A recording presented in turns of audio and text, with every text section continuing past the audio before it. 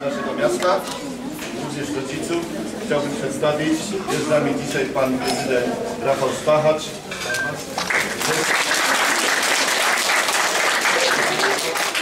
Jest, pani dyrektor Wydziału Usług Społecznych, pani Renata Kularczyk-Cywanka.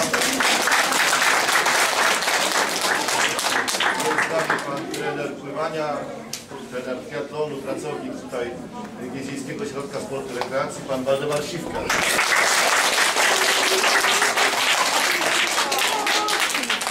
I Jest, jest z nami, przepraszam, jeszcze pan Marek Czepanowski, inspektor Wydziału Oświaty i Sportu Urzędu Miejskiego w Gnieźnie.